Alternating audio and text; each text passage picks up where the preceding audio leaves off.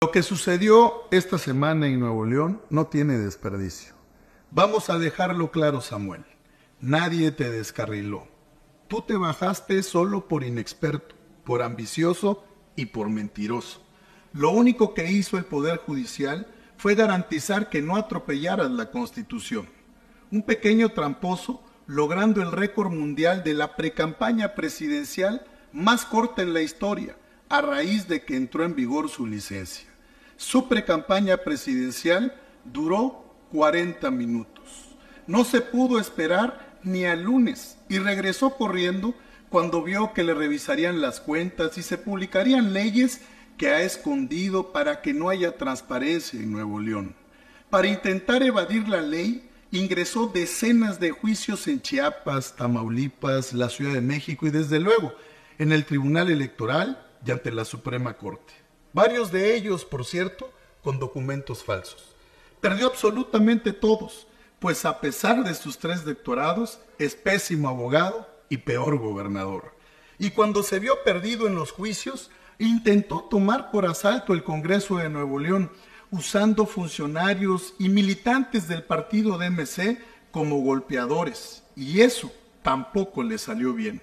Samuel, eres un engaño y tienes a Nuevo León sin agua, sin seguridad y sin empleo. Ni en tu partido saben cómo justificar todas tus locuras. Eras el candidato de Morena para intentar desunir a la oposición que busca un México mejor un esquirol mandado por el gobierno que solo sabe hacer trampas y publicar videos. A los únicos que pusiste a temblar fue a tus jefes, y me refiero a tus verdaderos jefes de Morena y de Palacio Nacional. Una y otra vez nos dan la razón. Lo de tu partido es servir al poder y jugarle al esquirol de Morena. Les ordenaron reventar la precampaña de Xochitl y los reventados fueron ustedes. Movimiento Ciudadano va a desaparecer en el 2024. Les vamos a seguir ganando, pues eres solo un producto de redes sociales, un holograma, alguien hueco, sin sustancia, sin equipo y sin proyecto. Ya veremos ahora a a quién pone a seguir cumpliendo las órdenes de Morena. Y mientras tanto, ya estamos tramitando el récord Guinness de la precampaña presidencial más corta en la historia del mundo, 40 minutos. Felicidades Samuel, pero pronto vas a tener que responderle a la gente noble y trabajadora de Nuevo León por todas las fechorías que has hecho. No te equivoques, nadie critica a la juventud.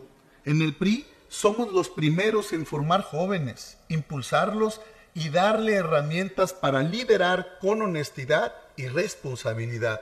Dos cosas que a ti te hacen falta. O cuéntanos, ¿por qué te echaste para atrás en el último minuto? ¿Qué escondes? Por eso, lección de vida, Samuel. La soberbia es mala consejera.